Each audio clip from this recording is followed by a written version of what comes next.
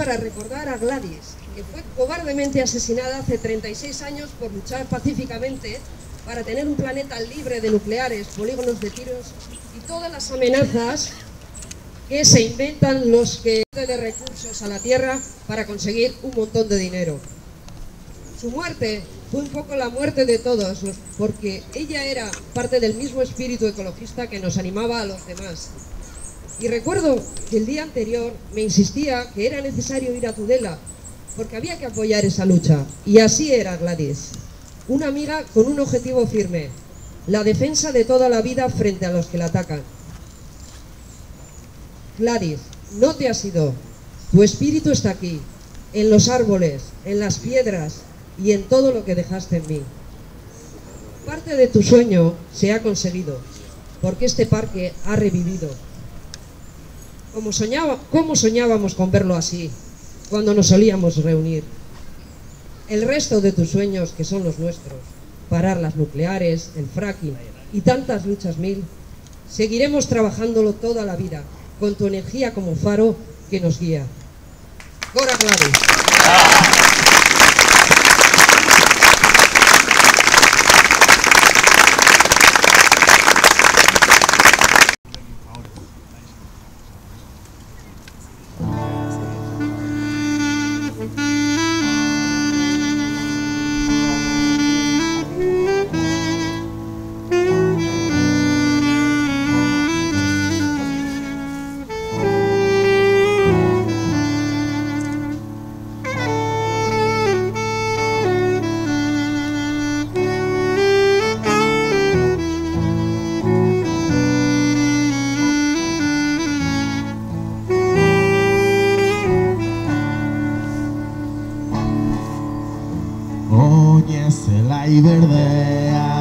Itxaso bazterrean Gaiurrak ditut maite Ta kresa lusaia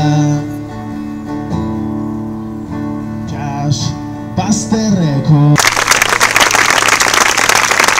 baina bilagotan esan dugunaren arabera guk ez dugu Gladys gurtzen santu laiko bat baliz bezala guk Gladys horitzen dugu eta horitzen dugu gure laguna zelako gure guretako bat izan zelako eta bidegakeria hura azterik ez dagoelako baina horretaz aparte guk Gladys horitzen dugu zurigaizteko egun hartan duterara eraman zuten arrazoiek gaur egun ere bizirik daudelako eta ere borroka gaur egun ere zentzua duelako.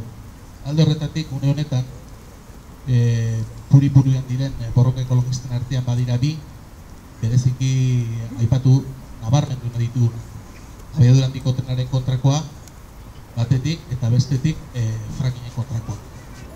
E, horretaz hitz egiteko, gurekin bi lagun ditugu, Amagoia Eskudero, abiadura handiko HT gelditu elkarlaneaneko kidea, eta eh, Javier López de Robles, eh, Frankinez, Arabako kidea. Eh, Lehen bizi Amagoia Mesedez, beak esplikatuko gaurko, gaurkotasunaren berri emango digu, zer HTren inguruan dauden albistean berri.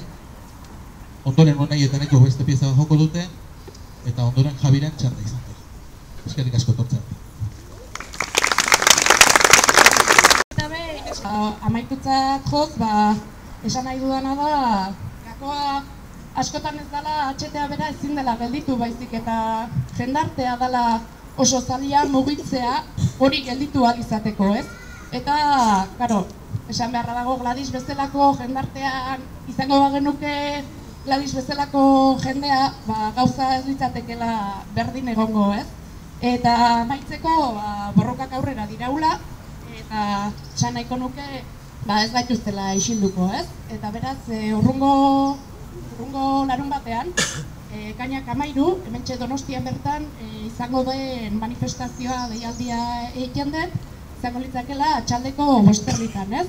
Eta gero ere bai, aipatzeko justu lentxea egingo da errausketan e, aurkako kontzentra bat e, diputazioan bertan, ez? Aprobetxatuz, Eta ba hoi, gero beste puntutako bat, ba izango da e, biziketa martxa egongo dana uztailan. Eta honekin ba utziko diet urrungo kanta abesten.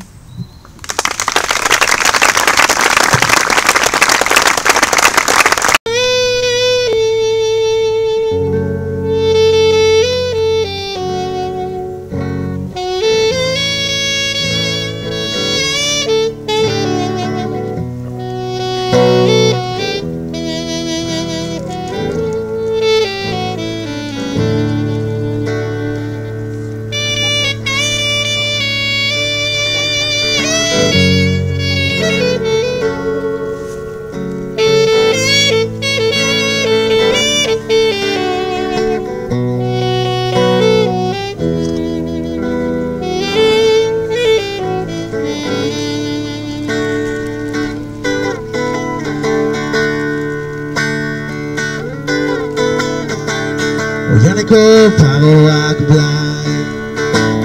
Aideratu Ostadarraren ardian dira. Diseñar tierra y al final lo único que obtiene es grandes beneficios para algunos dejándonos sin vida. Y por lo tanto el fracking sigue siendo una amenaza real, elocuente y evidente para todos y todas y que lo tenemos que parar no solo con 100.000 firmas que ya conseguimos, sino tenemos que seguir parándolo diciendo no a la moratoria que está proponiendo en este momento el gobierno vasco. Muchas gracias.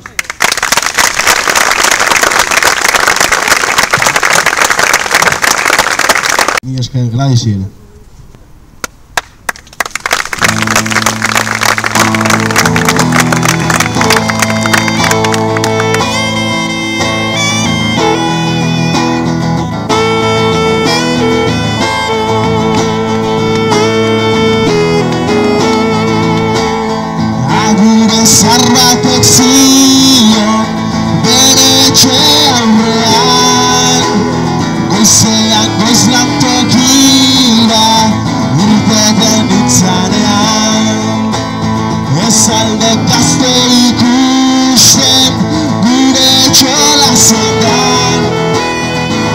Zein ez badugu Bertan galduko gara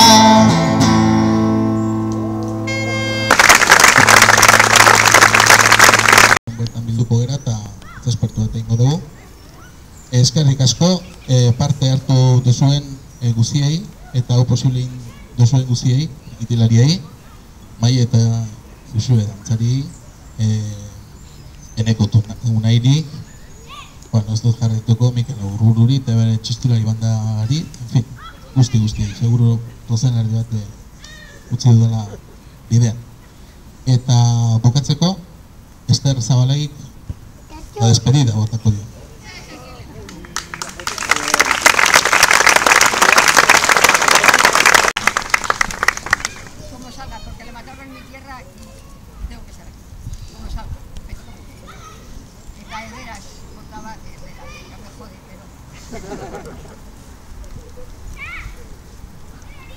Ni una central nuclear. No han de poner y en tu de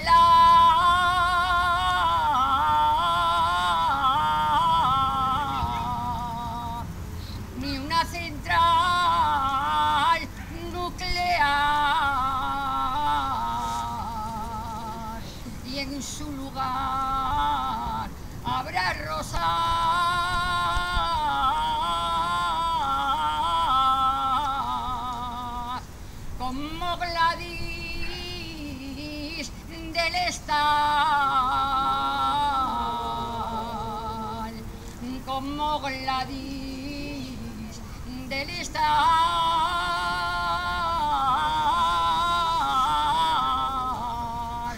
no han de poner en tu de